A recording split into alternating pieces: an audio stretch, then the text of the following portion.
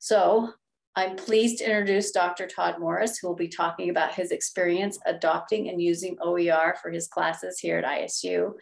After graduating with his PhD in chemistry from the University of Alabama in 2004, Dr. Todd's um, Dr. Todd Morris's teaching career began when he was hired as an assistant professor of chemistry at Adams State College in Alamosa, Colorado.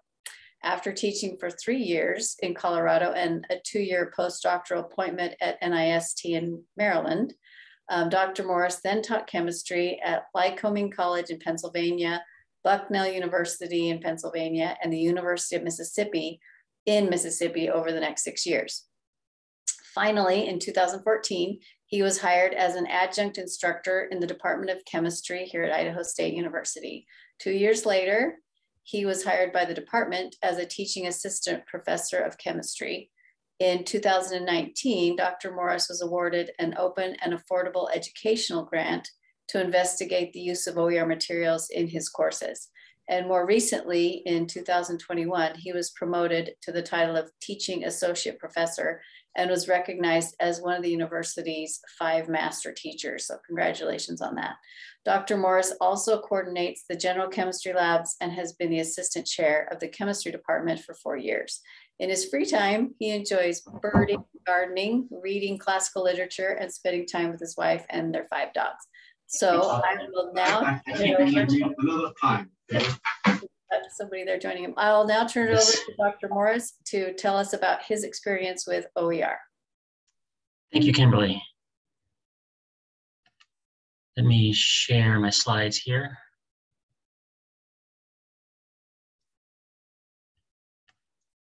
All right, thank you. Thank you for coming out and um, listening to my little talk here about um, my experience using open educational resources and my focus today is I want to kind of take a, a different approach. I, have given a similar talk to uh, new faculty as well as other uh, instances where I focused on how is OER good for the faculty? How is it good for the instructor?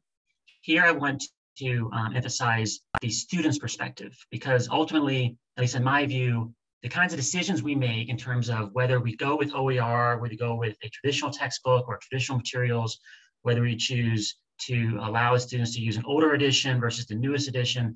Ultimately, it's our students who are going to be impacted by those decisions. So I want to make sure that as instructors, we're also listening to our students. So to begin with here, kind of where I came from and how I became a textbook hero, or as my wife likes to refer to it as a bookstore villain. I've always been kind of just as a personality, kind of a saver personality, uh, more so than a spender, certainly. I've been always very value minded. Um, from a positive point of view, you could say that I'm frugal, um, or you might say that I'm, I'm, I'm a kind of a Scrooge in terms of, you know, not one is a cheapskate, I guess, with kind of a negative way of looking at it. But that's just kind of my, my perspective of life is that I always value things. I want to make sure that if I do pay for something, that it is worth the cost that is involved there. Even when I got into higher education back in 2004 or so, I think I was always very hyper aware of the cost of higher education, not just simply the, um, the cost of tuition, as, as, Kimberly talked about in my bio. I've taught at relatively inexpensive state schools as well as very selective, so therefore very expensive um, private schools. So beyond just the tuition costs, which I have no control over, I was also also very aware of what kind of additional cost am I am I putting on my students? Um, in some cases, I really didn't have much choice. I was more or less forced, or at least encouraged, to use the same materials that have always been used for this particular course. Or if I was teaching a course where there are multiple sections, if I had a, another more senior instructor was using a particular course material, for example, like a clicker uh, for course participation points, I had to use the same material. And so therefore it cost my students that much more.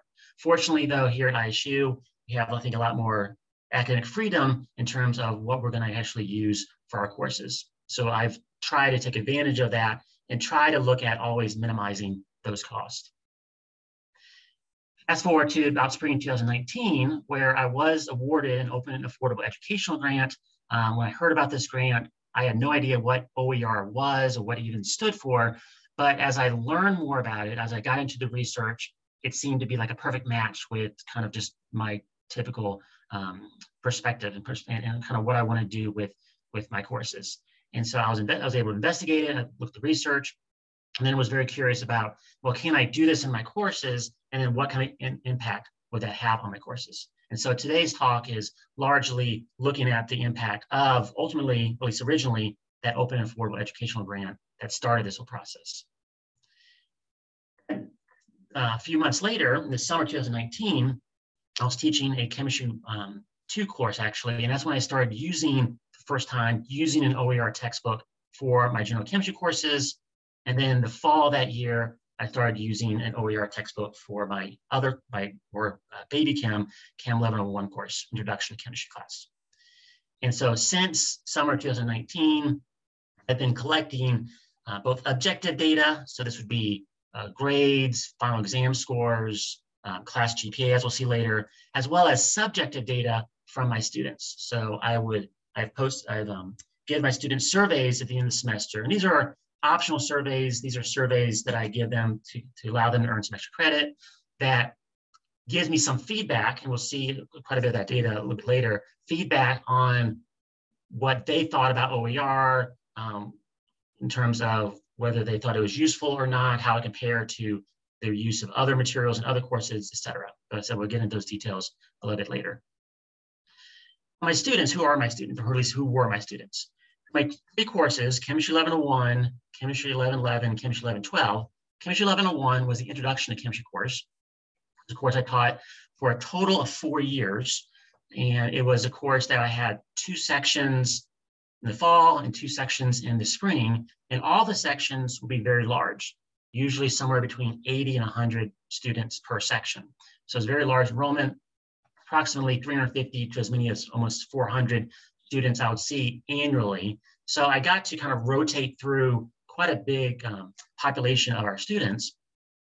And it was a very interesting course. It was a fun course to teach, in part because the students that I taught, kind of the makeup of my student, the student body in the course, was very diverse. About half the students were taking it because they um, were on a nursing career path, and so they needed to take Chemistry 1101 as the first of a couple of chemistry courses they needed to take, not only pass, but also do very well in. But the other half of the students, so those students were very highly motivated. The half of the students, though, were simply taking the course to satisfy one of their general education requirements. And so these other students would come from probably not science necessarily, but business or English or art or music, just all over the campus they would come into my class and just take my class to check off a box on their, their course degree plan. And then there were a few um, students that were generally STEM majors, oftentimes even chemistry majors or biochemistry majors, who know they needed to take Chemistry 111, the general chemistry course, but know they first needed a chemistry prep course. So it's a very diverse student uh, population, and so they're kind of a fun class to teach. Whereas chemistry 111, 112, this is more general chemistry, more serious chemistry per se. Also had very large enrollment courses. So currently I'm teaching one, one, core, one section of both chemistry one and chemistry two, both in the fall and the spring. And typically between those two semesters, those four sections total, I'll see about 200 students. These students' course would be much more uh, STEM majors, include bio, uh, the biology majors, engineering, biochemistry, chemistry, and then a couple of other majors that may dislike chemistry, or maybe actually taking this course as one of their general education requirement courses. So certainly the data that I'll present later, whether it's a survey data or other class data, is not fully representative of the entire population of ISU, but I think especially with Chemistry 1101 information, it does give us at least a sampling of the other schools and the other, other departments and the other students that come from backgrounds or have interests other than just simply science or other than simply chemistry. So the solution is in a lot of ways to um, what I have been using, of course, is, is, OER, Open Educational Resources. And we can define OER in various ways, define it as teaching, learning, research materials that reside in public domain, release an uh, open license that permits no cost access, use, adaptation, and redistribution of others with no or limited restrictions. That's kind of the formal definition or one formal definition of OER. I like this definition that I kind of came up with that is a better definition, I think, for faculty, but also for students. So like if they know that a class is taking is using OER, what does that really mean? Well, for them, that means that it's going to be free and ideally comparable quality. And certainly this is where a lot of the debate with OER and the OER use comes from is, is can you get something for free that's worth as much, that, that, that has the most much value as something that, that costs quite a bit of money? So certainly, depending upon where you find it, there will be quality will vary, but it's resources that could potentially, and I think at least should be investigated into possibly replacing the high cost, high quality resources that we traditionally require for our courses, but do cost our students some money. Open education resources I have been using is OpenStax, uh, General Chemistry textbook for my Chemistry 1 and Chemistry 2 courses, and then a textbook, the older edition textbook uh, for my Introduction to Chemistry courses, uh, the basics of general organic and biological chemistry. Certainly this is not limited to just these two resources. There are other um, online resources, OER Commons is a nice repository of, or, of, of different sources you can use. Um, PHET is especially good for uh, science simulations. And there's even other resources you can find online that are sometimes they're, they're, they're, they're, made for other courses, science courses or math courses or English courses. They may specialize in particular types of OER, but some other course, some other uh, resources just have a whole list of a variety of types. What is the student's perspective? That's kind of where I want to go with this talk. Well, in my mind, if I were a student, and it hasn't been terribly that much long since I have been a student, as a student, I'm going to going to college because I'm trying to ultimately earn a degree. And sometimes that's referred to as being simply getting an education, but I like to refer to it as investing in an education because ultimately the student is investing themselves. They're certainly investing money, tuition, as well as other cost education. They're investing time. They're sacrificing both money and time that they could be using for other purposes. So they're investing in the hope that that investment will pay off. They'll be able to earn a degree, which will then be able to get them ideally a high paying job. So in order to earn that degree, they need to succeed in all their required and elective courses. That starts, of course, with choosing this school. Within the school, once they're now enrolled in school, they're going to choose their instructors, if at all possible. And then once they're now enrolled in a particular class, get to see what the course materials and resources are for that class. And then they have to decide whether I need to invest in those course materials and resources. And so from my perspective, if a, if a student thinks that the um, course materials and resources are worth that investment, those materials and resources will have at least three criteria. One is that they'll be relevant.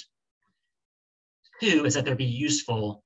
And three um, something that I think I've learned the most from this process, uh, especially with my survey, is that the course materials and resources have to be worth the cost. So if there is a cost to the materials, then they need to be worth that cost. And we'll talk about what I kind of mean by cost. So first, that course materials should be relevant. But when I always recommend or even require a particular course material, whether it's a textbook or homework or other um, ancillary material, I always ask my question, is this a good resource? Because ideally I want this resource, whatever it is, to complement what I'm teaching my students in the class. And so the first thing you might look at is, well, you know, will this OER textbook that I choose or the students get, get to use, does it cover the same material as the traditional textbook? And this is a sampling of the chapters that are typically covered in Chemistry 1 for the traditional textbook, and then the sampling of this basically the same chapters that are covered from the OER textbook for the course. And even if you don't have any background in chemistry and all this looks like a foreign language, we can all agree that we use, for a lot of these situations, we have the same words there. So we can kind of agree that they probably cover the same material. This is what we see in chemistry one. Same thing we see with chemistry two, actually lines up even better in terms of the chapters, the chapter content of the traditional textbook versus the OER textbook. So it definitely should be a, relevant as a resource to cover the same material I'm covering in my lecture. And both textbooks um, do that. As importantly, though, is that they should be relevant in that if I do invest in this particular course material, I want to make sure that if I spend $50 or even $10 or $100, I want to make sure that I get $10 or $50 or $100 out of this textbook or this course material. And so a lot of times students will decide whether or not to buy a textbook based upon whether an instructor says that it's required or not. Because the implication is that if it's required, then that means that without this textbook, I can't be successful. And if I can't be successful in the course, then that's going to hurt my investment in my overall uh, college education. Uh, college education.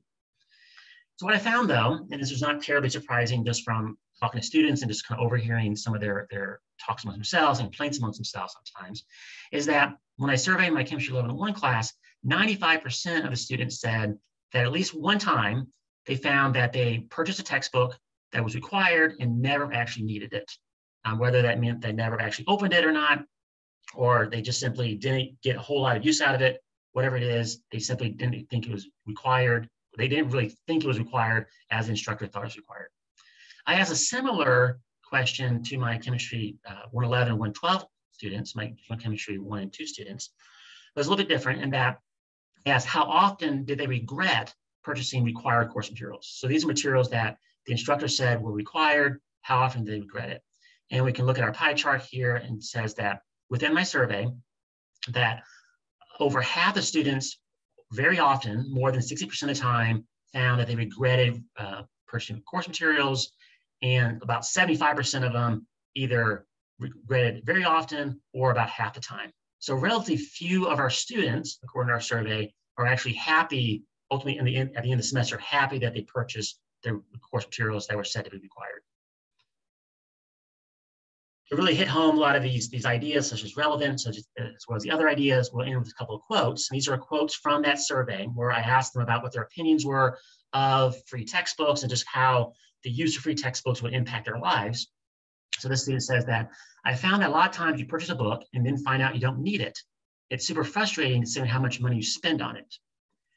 The majority of textbooks I purchase, I only use maybe twice. If courses use a free textbook, they would feel better about it because even if they didn't use it, they wouldn't feel upset because they didn't spend hundreds of dollars on it. So it was a resource that was available, was free. You didn't put much into it. So even if you didn't get much out of it, there's no harm done. And then a lot of times, this, this sums up another uh, opinion along with students is that sometimes they feel like money spent on textbooks is a waste and they don't, all times they don't use them. That's very frustrating. So they invested the money at the beginning of the semester. And at the end of the semester, yes, maybe they were successful in the course, but then looking back in hindsight, they realize they could have been equally successful without the textbook. Textbook material should be also useful. So what do I mean by useful? Well, of course, comparing the two textbooks, traditional and, and the OER textbook, Certainly, the physical size of a physical copy of textbook might prevent its use because you might not want to be able to lug it around campus just because of its heavy uh, its heft. Whereas OER textbook is a ebook, so you can download it on your phone. You can always view it online. Of course, the cost avail the cost for the traditional textbook versus the OER textbook. And what's nice, at least about OpenStax, um, which is oftentimes a complaint of students of using OER, is that yes, they like OER, but they don't like necessarily using ebooks. At least with OpenStax, you also have a physical copy that's also available if they want to purchase a physical copy. More importantly, though, is as a resource, if it's useful, what does it look like beyond the cover? And so here are two pages of basically the same content of the traditional textbook and the OER textbook. And without knowing any more information, I think all of us would be hard pressed to decide which one was worth $240 and which one was free. It turns out that in this case, the one on the left is the $240 textbook.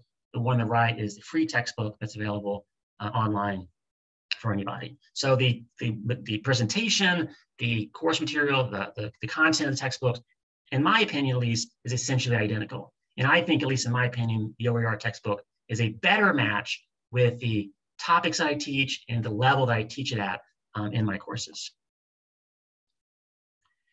Another sort of side um, benefit, I think, of, of at least OpenStax in terms of as an OER resource is that these OER resources, they're not perfect. There aren't any textbooks, even on my library shelf, that are perfect. But what's nice about, at least with OpenStax, is that it's very simple that if you do find a mistake, or if you think something could be worded a little bit different, it's very easy to fix that, or at least very easy to submit a um, errata for the other for the editors to consider fixing it. And this is actually a real example of even last semester where a student who obviously read the textbook very carefully, they found that there were some mistakes in the OpenStax version. They sent me some um, screenshots. I took a look at the screenshots, realized that these were pretty major mistakes. I sent that even very day, sent a errata submission to OpenStax. This is a screenshot of that errata submission.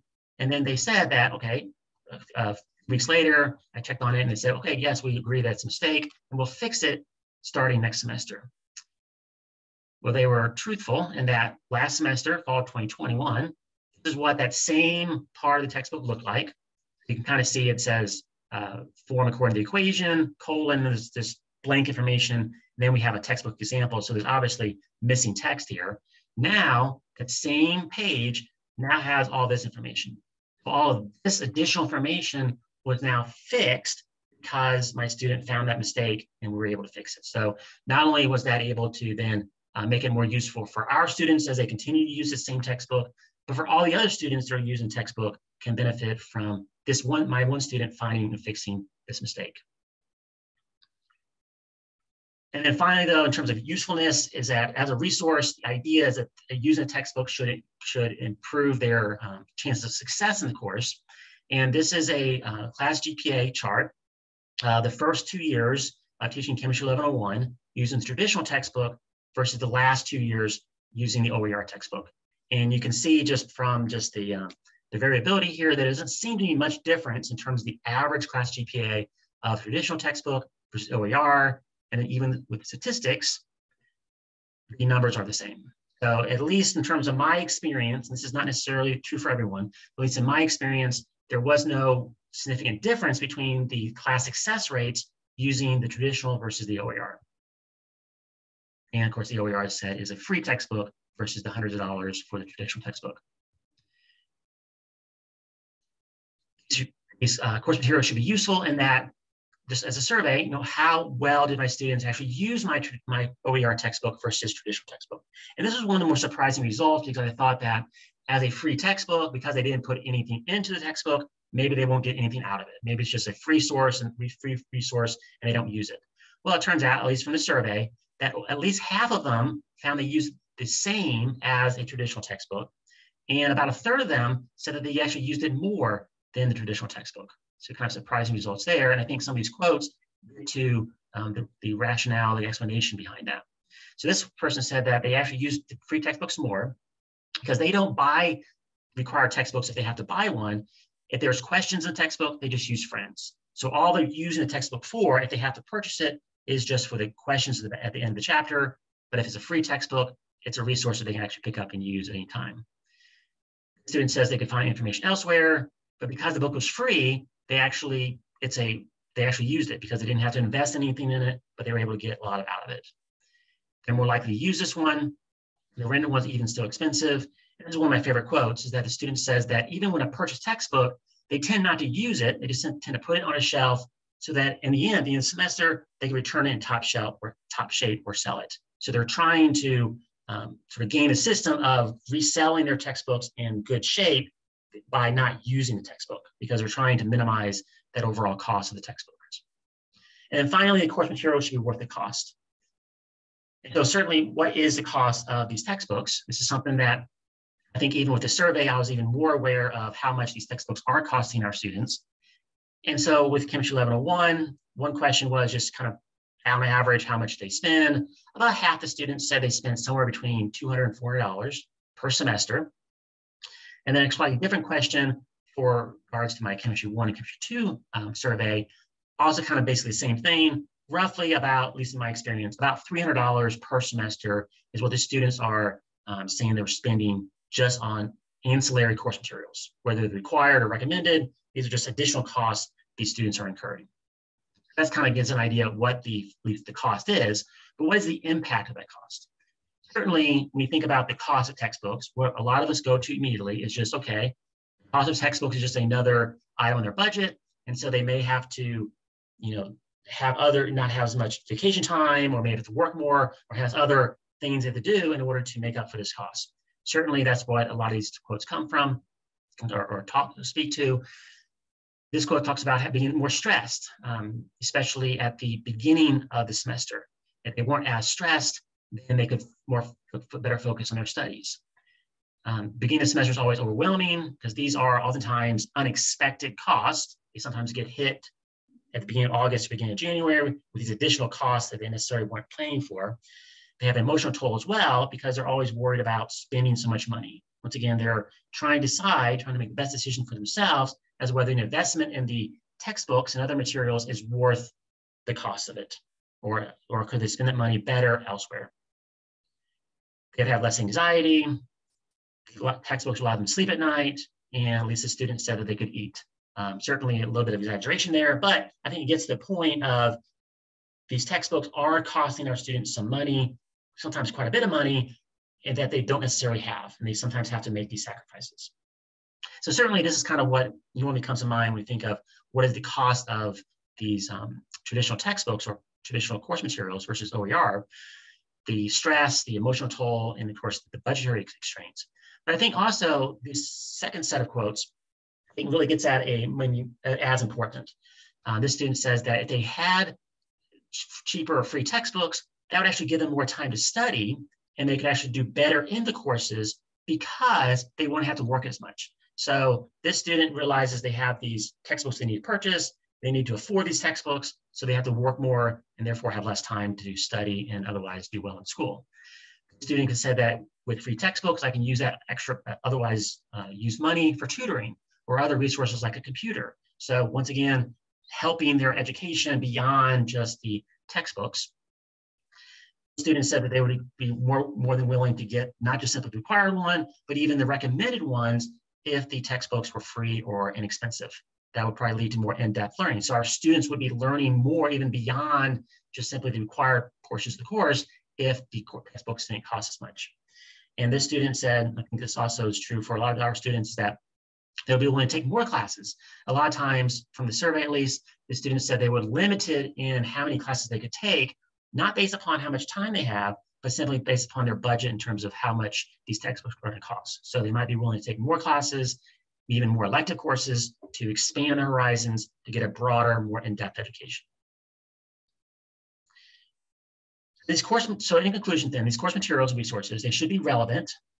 So at least in my experience, and this is not necessarily true for everyone, but at least in my experience, the OER and traditional textbooks cover the same material and at least to the same quality. So either one is fine, OER, course, is free. I think as faculty, we do want to be careful with our terms required versus recommended.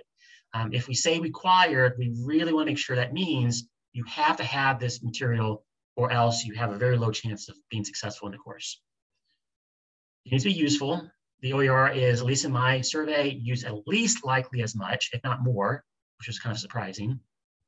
At least in my experience, the course success metrics, GPA, final exam average, et cetera, seem to be unaffected based upon the textbook and it need to be worth the cost. So we want to keep in mind that the cost goes beyond the finance financial impact of the textbook, has other emotional and stress costs as well.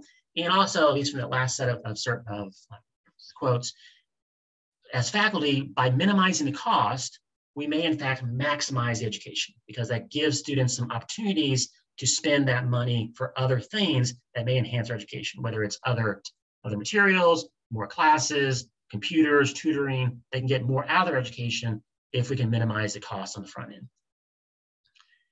Uh, if this piqued your interest, then I recommend that at least these three resources, for further investigation. And I can assure you that these three resources, certainly not exhaustive, but these three, three resources are all relevant, they're useful, and they're certainly worth the cost. So I'd be happy to take any questions you may have. Thanks, Todd. Appreciate that. If anybody has questions or um, comments to add, feel free to unmute yourselves and go ahead and ask those right now. Hi, Todd. Uh, yes. Thank you so much for the presentation. Um, I have a one question for you. Um, so um, in your case, uh, you were able to use the uh, state uh, funding and initiative funding uh, for you to look at a lot of materials during the summer. Isn't that correct? Yes, yes. Yeah. So, um, did you feel like that resource was uh, obviously useful, but you know, uh, was enough for you to spend, you know, uh, a significant amount of your own time to look at a bunch of different um, resources and I guess take that, you know, plunge after uh, mm-hmm. Looking at a bunch of uh, uh, open source materials. I, I, definitely, I definitely think so. It was, um, I said in hindsight, you know, I think I would have done the same thing even without the grant. I think it was just just this um, catalyst to saying, okay, we have these resources available, and then here's a little bit of money to um, to inspire to motivate me to actually look at this more seriously. Um, so it ultimately didn't, at least in my perspective, it didn't take a whole lot of time to find these resources, to to look at them, and to ensure that they seem to be of equal quality, and to um, you know, from my perspective, invest in these OER resources and then switch to these OER resources um, because I, I, was confident that by doing so, I wasn't sacrificing the educational quality of my classes. Um, so I think that the money there was good. It was it was a good motivation for me, um, but it was certainly um, plenty of money in terms of my time in, in, in order to investigate these resources.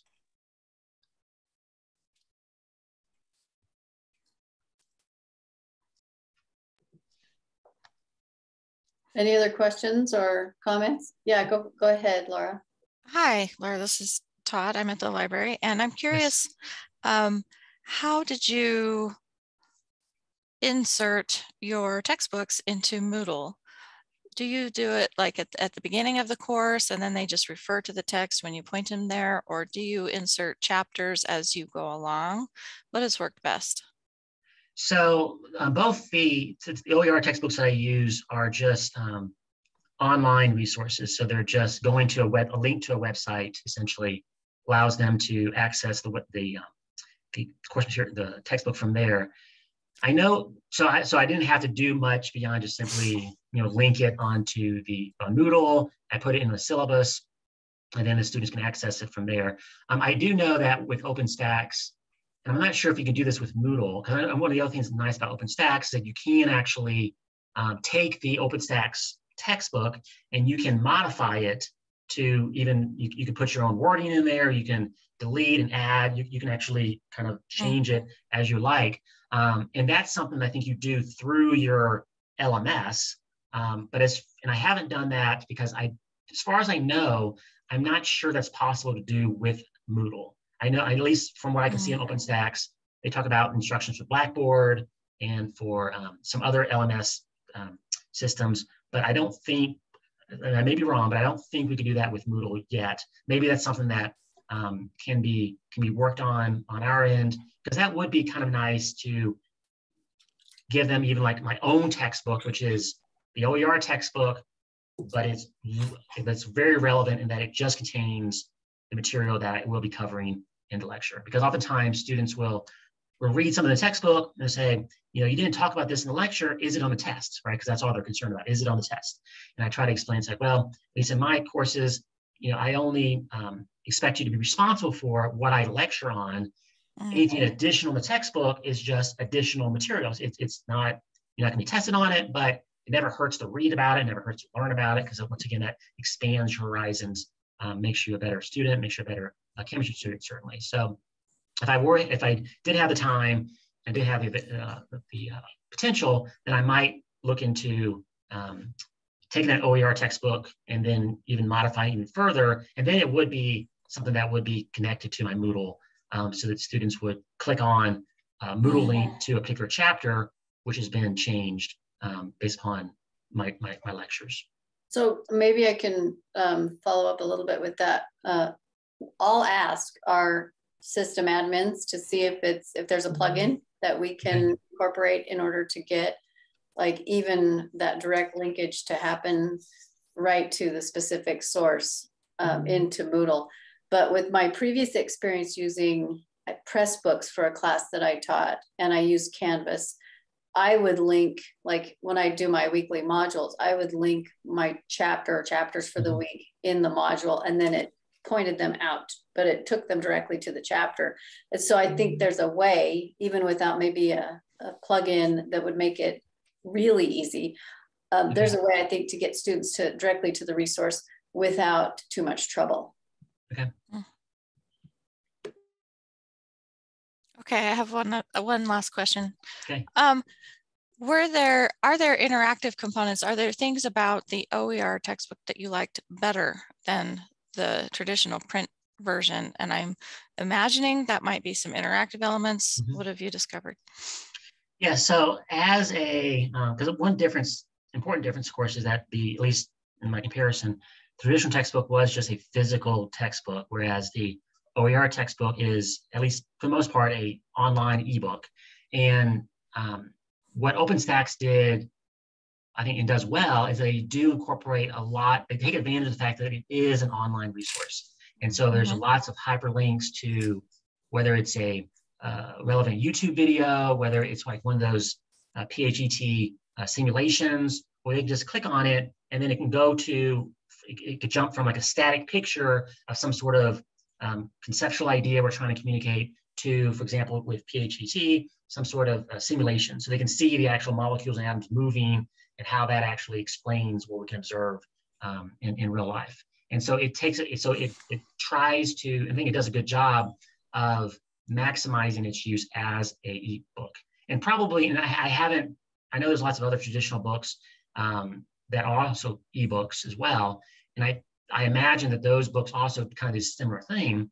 But of course, the difference is that so your textbook is, is always free for our students and they're not having to purchase, and it's always free and it's always available. Whereas a lot of times uh, with these um, ebooks that they purchase or they rent, it may only be available for the semester, for the year. And then they don't have that same textbook that they can then go back to if they're studying for an MCAT or studying some, some sort of professional um, test that they need to review their general chemistry. They no longer have that textbook. And so they have to um, they may not have their, their, their lecture notes anymore. So they may have to go to another resource which they didn't originally learn it from, which I think hurts them as well. Mm. Thank you. So I just did a quick search on integrating OpenStax into Moodle, and it looks like for some textbooks, it doesn't say for all of them, Mhm. but they have course cartridges that can be imported into Okay. Moodle as well. So it can be done. So I guess if if you're working on a course or with instructors on a course, um, then we'd be happy to look into importing the course cartridge so that they can get their textbook right into their class. And that includes ancillary materials, not just a textbook. So Excellent. that's good news. Any other questions for Todd or comments? Okay, well, thank you for joining us today. We appreciate it. And thank you, Todd, for being here and being willing to talk about your experience. And I think when it comes to OER, it is it's a challenge, but it's worth the effort to put into serving students in this way because as we know, textbooks are not getting less expensive, they're getting more expensive year by year. So it's a good opportunity for us to look into things that we can do to improve that. Yes, thanks for sharing. And thanks for sharing the statistics and doing that follow-up research. I really appreciated that. Mhm. Thank you. Yeah, Yeah. that's valuable, I think. Yeah. Good eye-opening information, right? Mhm. Yeah. Okay, well, join us for the next session. I believe it begins at 1 p.m. if you want to listen to another textbook hero presentation. And then we'll have um, an additional, two additional sessions. So watch the, the web page that, that the, the blog post has all of the links and all of the sessions and the bios for everyone that's presenting. So um, some good things to look forward to if you have the time. Thank right. you. Thank you. Bye. Yes, thanks for being here, everyone. Have a great rest of your day.